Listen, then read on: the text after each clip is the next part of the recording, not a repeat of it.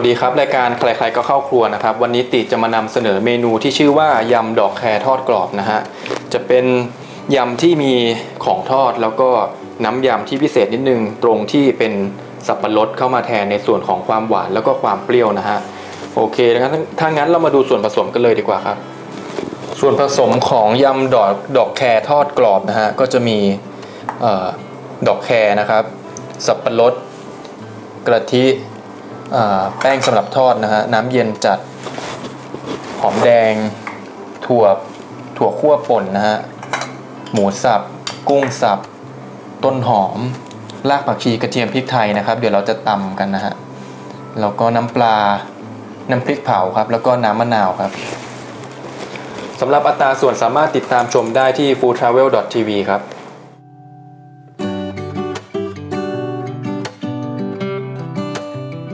เราจะมาเริ่มที่น้ำยำก่อนนะของอยำดอกแครทอดนะครับ นี้ก็จะเป็นกะทิครับ ใส่ไปไม่เยอะนะครับ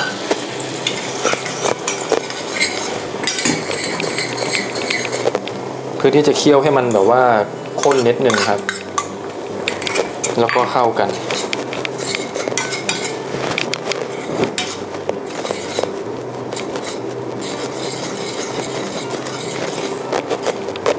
ามด้วยน้ำปลาลงไปเลยนะครับ แล้วเดี๋ยวเราจะชิมอีกทีนะครับ ตอนนี้เราจะมาที่สับปะรดเราจะมาคั้นน้ำกันนะครับ เมนูนี้เราจะไม่ใช้เนื้อของสับปะรดนะฮะแต่ถ้าเกิดเสียดายเนี่ยเราจะเหลือบางส่วนเอาไว้เนี่ยมาหั่นเป็นชิ้นเล็กๆยำไปด้วยก็ได้ครับโอเคครับ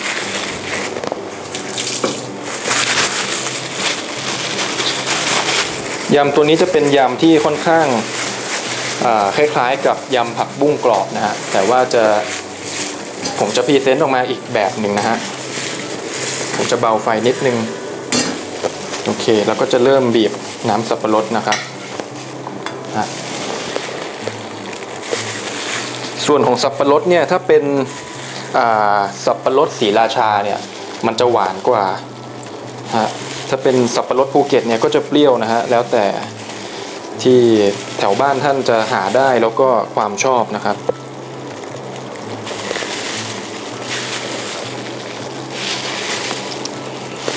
สับปะรดวันนี้ก็จะฉ่ำมากเลยนะฮะ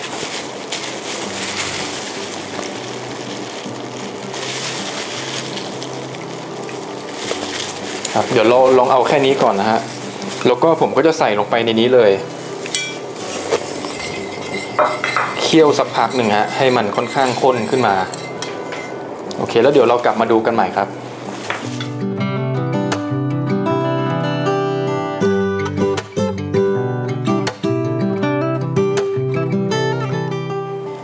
เรามาดูขั้นขั้นตอนของการทำดอกแครแล้วก็การยัดไส้นะครับ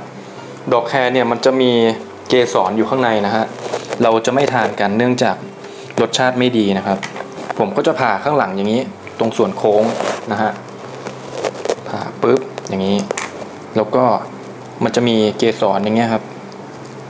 นี่นะฮะผมก็จะดึงออกมาทั้งอันเลย แล้วก็ทิ้งไป ส่วนเราจะใช้แค่ดอกมันครับ โอเคทำเป็นตัวอย่างให้ดูนะฮะที่เหลือผมทำเสร็จแล้ว แล้วก็ อันนี้จะเป็นส่วนของไส้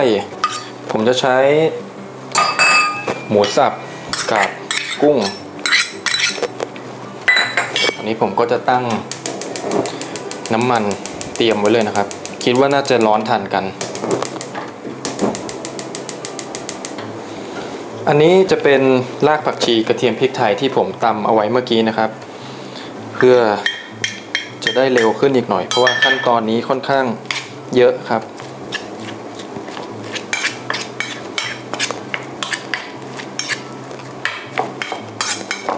ขอใช้มือเลยนะครับ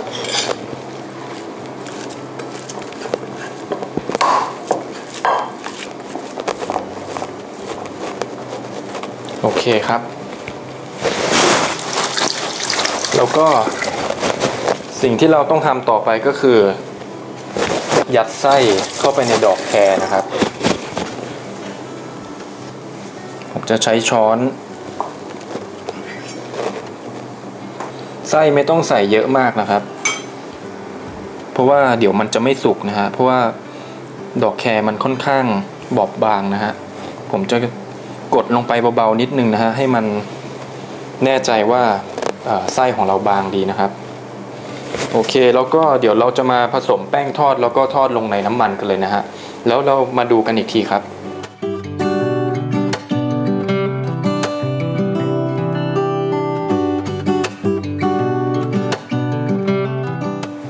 มาถึงขั้นตอนที่เราจะต้องชุบทอดกันแล้วนะครับ หลังจากที่เรายัดไส้ในดอกแครไปแล้ว คราวนี้เราจะใช้น้ำเย็นจัดนะครับ ผสมลงไปในแป้งในแป้งสำหรับทอด ค่อยๆผสมลงไปนะครับ เพราะว่าถ้าเหลวไปมันก็จะใช้ไม่ได้เหมือนกัน เดี๋ยว ส่วนอัตราส่วนเนี่ยเดี๋ยวผมจะเขียนไว้ให้ใน foodtravel.tv นะครับ ตอนนี้ผมจะลองกะดูก่อน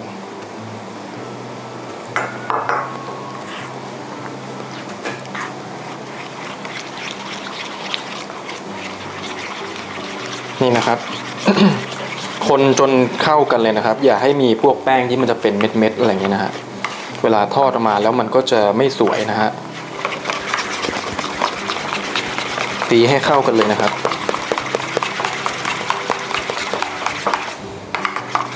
วนแป้งทอดเนี่ยถ้าอยากให้อร่อยนะครับ ก็อาจจะปรุงเพิ่มได้อย่างพวกผงปรุงรสหรือว่าจะเป็นเกลือน้ำตาลพริกไทยอะไรอย่างนี้ก็ได้เหมือนกันนะครับ หรือไม่ก็ปรุงรสลงไปในหมูสับเลยก็ได้ครับ นี่นะฮะความข้นจะประมาณนี้นะฮะเหมือนแป้งทอดชุบทอดทั่วไป แล้วขั้นตอนต่อไปก็คือ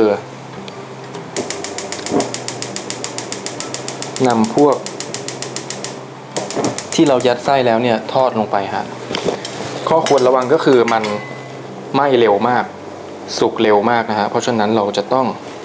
ไหวนิดนึง ผมจะมาใกล้ๆนะครับ นี่นะครับ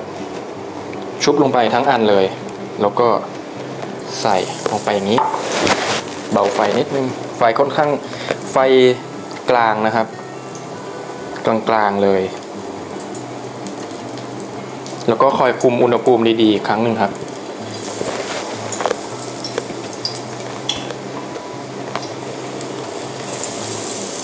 ถ้ากลีบมันจะบานเนี่ยไม่เป็นไรนะฮะ เราไม่จำเป็นต้องให้มันทอดแล้วหุบสนิทนะฮะ เพราะว่าเดี๋ยวเราจะไปจัดจานเนี่ย มันจะได้ไม่แบนแล้วก็ดูสวยงามขึ้นมาครับ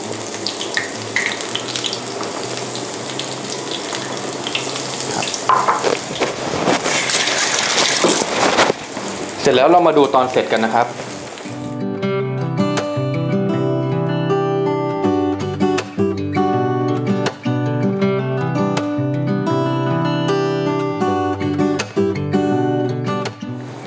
พอเราทอดเสร็จแล้วนะครับ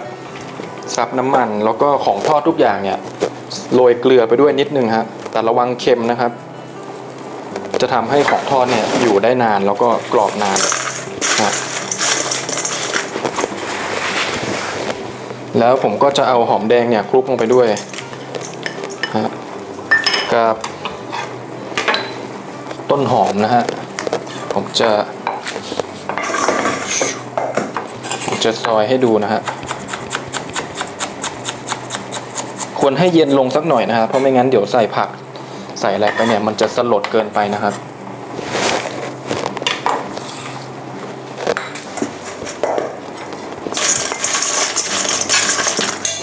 มาถึงน้ำยำของเราเนี่ย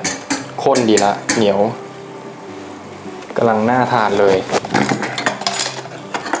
ผมก็จะใส่ถั่วลงไปครับ ชิมรสชาติก่อนนิดนึง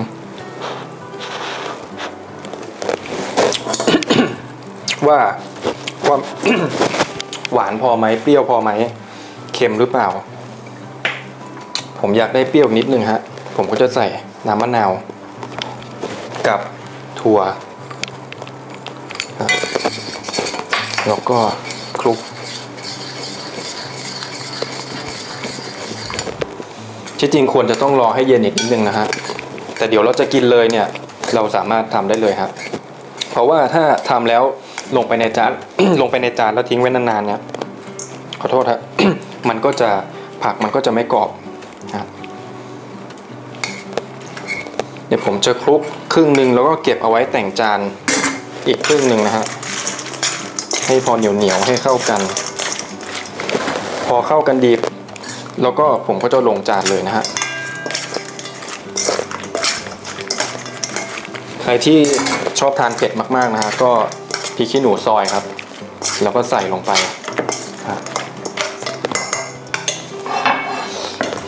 เมื่อกี้ผมจะมีดอกแครที่ ไม่ได้ยัดไส้แต่ว่าทำบาน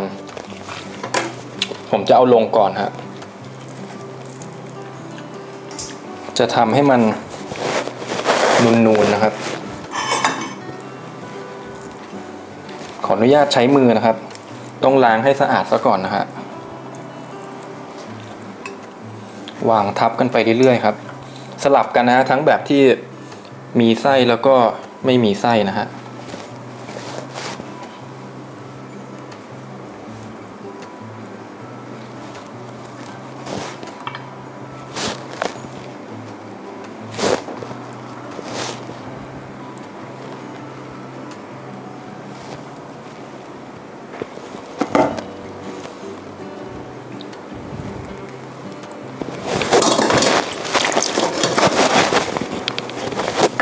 สิ่งที่เราจะต้องทำต่อไปก็คือ ใส่น้ำซอสไปอีกหน่อยหนึงครับ